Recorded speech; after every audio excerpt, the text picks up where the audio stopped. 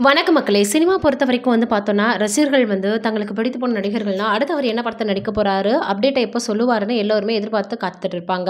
ஆனால் இப்போ ஒரு பிரபல நடிகர் நான் வந்து பிரேக் எடுக்க போகிறேன்னு சொல்லியிருக்கிறது மிகப்பெரிய அளவில் ரசிகர்களிடையே அதிர்ச்சி ஏற்படுத்தியிருக்கு. இப்போ அந்த நடிகர் யாருன்றதை தான் நம்ம இந்த வீடியோவில் பார்த்து தெரிஞ்சுக்க போகிறோம் சிவகார்த்திகேயன் தன்னுடைய ட்விட்டர் பக்கத்தில் இருந்து தற்காலிகமாக விலகுவதாகவும், இனி இந்த பக்கம் அவரது குழு கையாள உள்ளதாக புகைப்படங்களுடன் பதிவிட்டிருக்காரு. சிவகார்த்திகேயன் ரசிகர்கள் இப்போ அதிர்ச்சி அடைஞ்சு போய் அவருடைய நடிப்பில் மாவீரன் படம் வெளியாக இருக்கு. சிவகார்த்திகேயன் ட்விட்டர் பதிவில் சொல்லியிருக்கிறது தமிழ் திரையுலகில் சிவகார்த்திகேயனின் வளர்ச்சி குறித்து அனைவருக்கும் நல்லாவே தெரியும். எவ்வித திரைப்படம் மூலமும் இல்லாமல் சின்ன திரையில் இருந்து வந்து தற்போது வெள்ளித்திரையில் தடம் பதித்து ஜொலிச்சிட்டு இருக்காரு.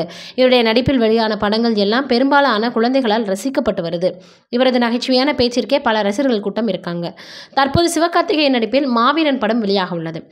மண்டேலா படத்தின் மூலம் பிரபலமான மஜோன் அஸ்வின் இயக்கியிருக்கக்கூடிய இந்த படத்தில் சிவகார்த்திகேயனுக்கு ஜோடியாக அதிதி சங்கர் நடிச்சிருக்காங்க. சுனில், மிஸ்கின், கவுண்டமணி, யோகி பாபுன்னு பலர் நடித்திருக்கக்கூடிய இந்த படம் ஆகஸ்ட் மாதம் பதினோராம் தேதி திரையரங்குகளில் வெளியாக இருக்கு. மறுபுறம் அவருடைய இன்னொரு படமான அயலான் திரைப்படம் தீபாவளியில் வெளியாக இருக்கதாக சமீபத்தில் சொல்லப்பட்டது. இந்த படத்தை ரவிக்குமார் அவர்கள் இயக்கியிருக்கிறாங்க. ராகுல் பிரீத் சிங் இந்த படத்தில் கதாநாயகியாக வந்து நடிச்சிருக்கிறாங்க. அதே நேரத்தில் படத்தில் நகைச்சுவையான வேற்று கிரகவாசி கதாபாத்திரம் இருக்குது அயலான் படத்திற்கு ஏ. ஆர். ரஹ்மான் இசையமைக்கிறாரு.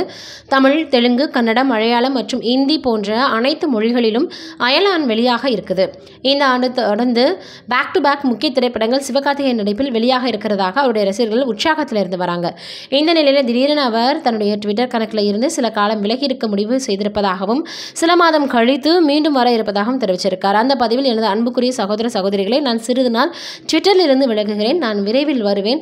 அனைத்து அப்டேட்டுகளுக்கும் எனது குழுவினர் உங்களுக்கு தெரிவிப்பாங்க அப்படின்னு சொல்லியிருக்கிறாரு. இப்படி வந்து பார்த்தோன்னா அவர் பதிவிட்டிருக்கிறது எல்லோருக்குமே வந்து மிகப்பெரிய அளவில் ஒரு ஷாக்கை கொடுத்திருக்கு. சிவகார்த்திகேயனின் இந்த முடிவு அவருடைய ரசிகர்களுக்கு பெரும் அதிர்ச்சி ஏற்படுத்தியிருக்கு. தற்போது சிவகார்த்திகேயன் உலகநாயகன் கமலஹாசன் அவர்களின் ராஜ்கமல் ஃபிலிம் இன்டர்நேஷனல் தயாரிப்பில் எஸ்கே டுவெண்ட்டி ஒன் என்றழைக்கப்படக்கூடிய படத்தில் நடித்து வரார் ராணுவ களத்தை கதைக்களமாக கொண்ட இந்த படத்தினை இயக்குனர் ராஜ்குமார் பெரியசாமி இயக்க இருக்கிறாரு. படத்தில் கதாநாயகியாக சாய் பல்லவி நடிக்க இருக்காங்க. விரைவில் இப்படம் குறித்த பல தகவல்கள் வெளியாகும்னு எதிர்பார்க்கப்படுது. இப்படி இருக்கக்கூடிய சூழ்நிலையில் சிவகார்த்திகேயன் இப்படி பதிவினை போட்டிருக்கிறது மிகப்பெரிய அளவில் எல்லோருக்குமே வந்து பார்த்தீங்கன்னா வருத்தத்தை கொடுத்துருக்கு எதற்காக அப்படி சொல்லியிருக்காரு, என்ன காரணமாக இருக்கும் அப்படின்னு பல்வேறு விதமான கோணங்களில் யோசிக்க ஆரம்பிச்சிட்டாங்க ஆக மொத்தத்தில் இப்போ மறுபடியும் அவர் வருவேன் அப்படின்னு சொல்லியிருந்தாலும் கூட கொஞ்ச நாளைக்கு வரமாட்டேன்னு சொல்லியிருக்காருன்னு சொல்லி வராங்க. சிவகார்த்திகேயன் அவர்கள் ரொம்பவே கஷ்டப்பட்டு சின்ன திரையிலிருந்து வெள்ளித்திரைக்கு வந்தவர். யாருடைய பின்புலமும் இல்லாமல் தன்னுடைய சுய முயற்சியாலையும், கடின உழைப்பாலையும் வந்திருக்கிறாரு. நிறைய படங்களை கூட தயாரிக்கணும் அப்படின்ற ஆசையில் தன்னோட நண்பர்கள் கூட இணைந்து, ஆனால் அதெல்லாம் அவருக்கு சரிவதாக ஏற்படுத்துச்சு அப்படின்ற நம்ம எல்லாருக்குமே தெரியும். அவருக்கு நடிப்பு மட்டுமே ரொம்பவே வந்து பார்த்தீங்கன்னா மிகப்பெரிய அளவில் அவருக்கு உச்சத்தை கொண்டு போய் விட்டுருது. தொடர்ந்து இன்னும் நிறைய படங்கள் நடிக்கணும்னு நம்மளுடைய சார்பாக வாழ்த்துக்களை தெரிவிச்சுக்கலாம்.